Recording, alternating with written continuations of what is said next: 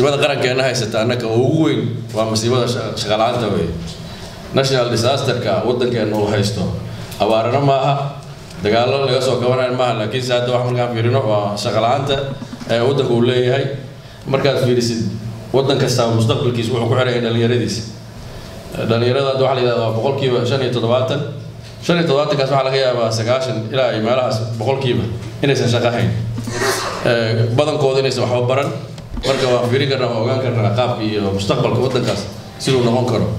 Maadaama markii ay weynaadaan qofaan weligiisba soo shaqeyn. Ama inuu mas'uul noqdo ama meel kale qabto dhibka ay leedahay. Marka hadda wax la isku canaananayo maa waan ogsoonaa waddankeenu soddon sano iyo ka badan oo wuxuu soo maray mushkilaha iyo burbur. Markii gur kugu dumana oo carrada kugu soo dunto qof kasta marka ugu horeysa horta waa inaad boorka iska jabto bannaanka soo istaagto. Markaad bannaanka soo istaagto kabacdi inaad saad u soo celin lahayd oo u dhisi lahayd oo habba la isugu geyn lahaa. Waqti bay ay qaadanaysaa waan la soconnaa oo waan ogsoonnaa aad baan u bogaadinayaa hay'adaha waxbarashada institutionska waxbarashada loo waxbarashada. Isxilqaamka ay isxilqaameen in ay helaan ay waxbaraan dadka dhallinyarada soomaaliyeed ama dadka soomaaliyeed. Uu dhaafsiiyey waxbarashadii dhaafsiisay burburkii waddanku runtii hawl aad u weyn bay qabteen. U baahan in loo bogaadiyo u baahan yihiin. Keliya waxaa la rabaa marka hadda wuxuu linear ma noqon karo wax diritaan hal toos u socda lama rabo. Waa in lala jaan qaadi karaa horumarka waa in hore loo socon karo. Hadda marmarsiyo noo noqon mayso sidii uu ahaa dhowr iyo sagaashankii iyo sidii ahayd waxbarashadu inay sideedii ahaato noqon mayso waddanku waa soo kabanayaa tartiib tartiib baa loo soo socon. Marka maamaha soomaalida jirta waxaa la yidhi arad waa dan uskagsa waa doqonnimo. Qofku inuu arado uu waxwaayo dantaa ku kaliftay. Laakiinse inuusan wixiisa u nadaamsanayn uusan u nadiifsanayn wuxuu haystay doqonnimo way taas marka waxaan rabnaa inta yartaa haysano inaan habeeno adduunka maabin in la sameeyo. Waan ogsoonahay horena waa looga sheegay waa la hadlay. Waxbarashadu waa ogsoonahay badankeedu. Maxaa la yidhaahdaa waxbarashadii public ahayd waa baabaaday waxbarasho private waddanka lagu soo celiyay. Marka waxbarashada dhallinyarada soo qalin jabinaysa oo waxbarashada ka soo baxaysa iyo suuqa shaqadii taallay isma isma keenayaan waa kala duwan yihiin. Dhallinyarada badankooda waxyaaba artsa la bartaa siyaasad iyo public administration iyo waxyaabo la mid ah. Laakiinse waxaa laga yaabaa suuqa qofka raba in guriga loo dhiso inuu u baahan yahay qof bricklayer iyo sidii loo sameeyo iyo safitooyinka loo dhajiyo iyo waxaas in loo sameeyo. Marka isma keenayaan marka in loo sameeyo waxaan shaqada iyo wax laysku laysku aadiyo laysku duwo waxbarashada laga soo baxaayo dhallinyarada wax la baraayo iyo shaqada taallo oo suuqa taalla inay isku aadan tahay isku toosan tahay waa muhiimaddeeda ay leedahay. Haddii kale waxaa imaanaya waxaan sinayn oon iskaabayn keenaysaa. Marka waxaan kaloo rabnaa haddii laa yidhaahdo waxyaabaha ugu muhiimsan waxa waye waxyaabaha burburay. Mar siyaasadihii waa burbureen. Maxaa la yidhaahdaa wix allaaliya wixii jiray oo ama siyaasad ahaato. Ama programmada ahayd dowladdu ay lahayd oo shaqada khuseeyey waa wada baabeen. Marka in haddana kulli la soo wada celiyo oo siyaasadihii ama waxa bolisiiska uu leeyahay dalku uu leeyahay oo haddii shaqadii ama shaqaalihii qofkii shaqaynhaya iyo maxaa la yidhaahdaa shaqada laftigeedaba in la soo nooleeyo oo la soo celiyo laba nooc bay isugu jiraan. Midna waa tii localka ee dalku iska lahaa. Qofka maxaa la yidhaahdaa siyaasaddii shaqada oo dalku lahaa maxaa la yidhahdaa nooc kasta ay ahaatee wixii dadka looga baahnaa gudaha.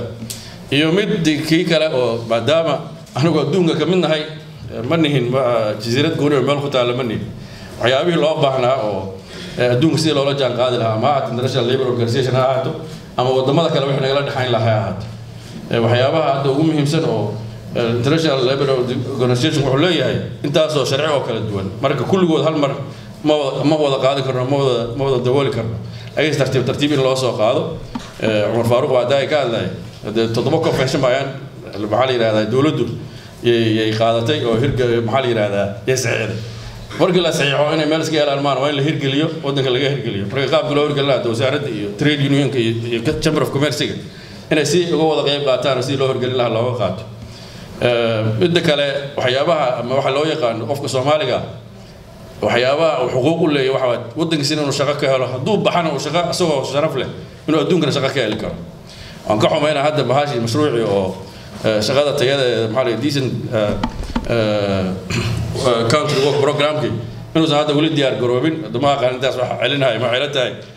Shaqadaas baashin in la dardargeliy waa u baahan tahay midda kale waxyaabihii hadda ka hor sanad ka hor la daafuro waxa ka mid a waxa loo yaqaano.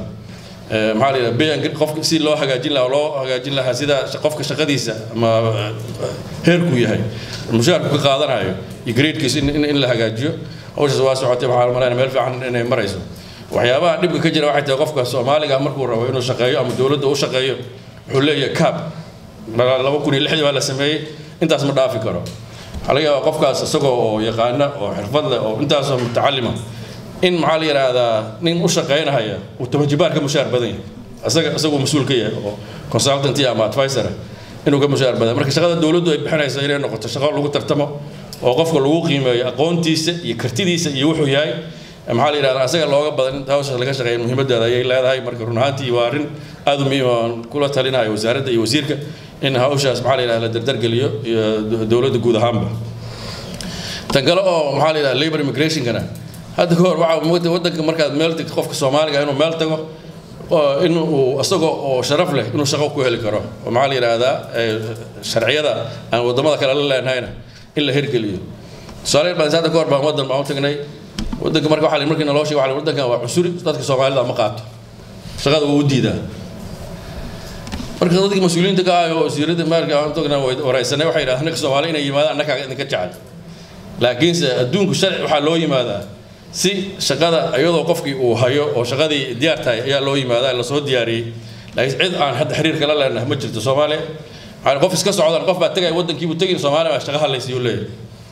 Hadda adduunkana kama dhacdo waddan kastaa tagtid. Waa inaad haysataa shaqo inaad fasax u haysatid work permitka haysataa laakiin dad waddan ama caafimaad u tagtid ama aad u tagtid fasax aad u tagtid holiday u tagtid in shaqo lagaa siiyo macquul maaha is waxaa la rabaa marka isagoo qofkii halkaa inuu ka baxo isagoo wixiisoo dhan u dhammaystiran yihiin waxaan u baahnaa la yidhahda konton dhakhtar oo soomaali boqol kalkaaliyo caafimaad intaasoo injineer ayadoo halkan uga dhammaystiranta inay inay ka tagaan oo dhammaystiraan waana waana waa la bilaabay wasaaraddu waa bilowda waana rajiinaya inay meel fiican marayso oo ay taas hawsha dhammaad tahay